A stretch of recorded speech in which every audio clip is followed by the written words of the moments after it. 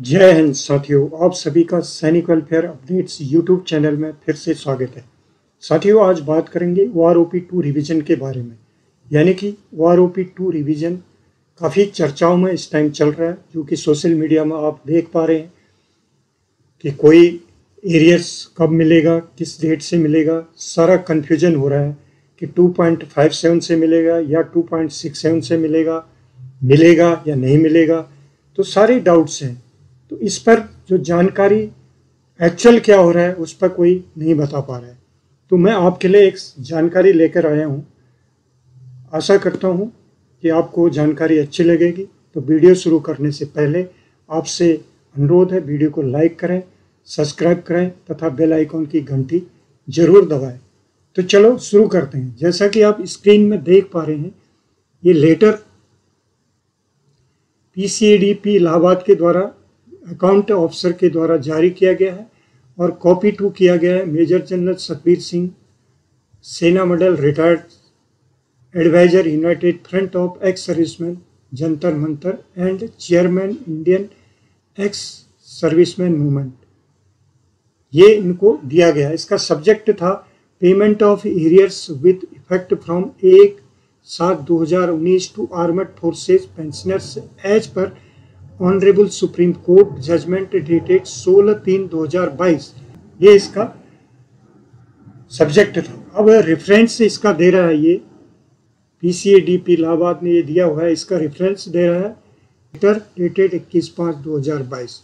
तो इसमें ये क्या रिप्लाई दे रहा है? Please refer to your letter cited अब reference received under headquarters office D A D headquarters letter number ये दिया इसने।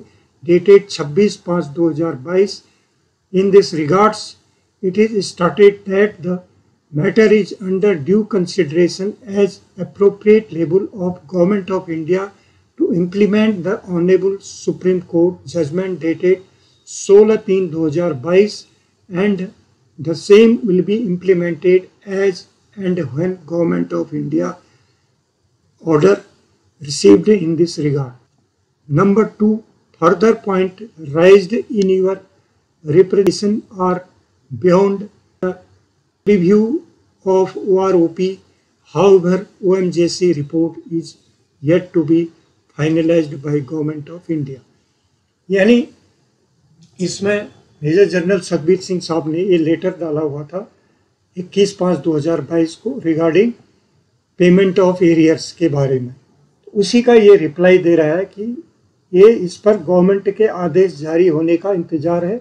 जैसे उनसे कुछ आदेश मिलेगा तो इस पर कार्रवाई शुरू हो जाएगी। ये वो लेटर में कहने का मतलब उनका ये है। अब इन्होंने ट्वीट में क्या कहा? है जनरल साहब ने इसका ट्वीट किया है, फिर रक्षा मंत्रालय और सबको क्या बताया है इन्होंने?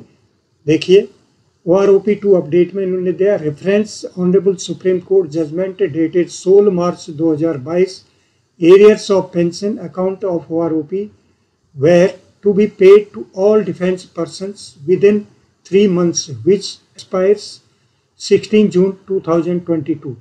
Government has not issued any letter to pay arrears by due date.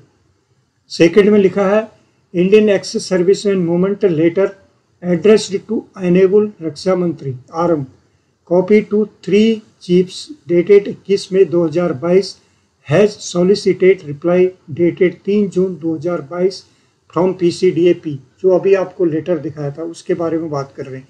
That matter under due consideration as per honourable supreme court judgement for its implementation letter attach वो लेटर अटैच करके ये इन्होंने ट्वीट किया है। दूसरा, तीसरे point में लिया है government of India is requested to issue letter and tables for payment of arrears earliest to honours that honorable supreme court judgment in letter and spirit.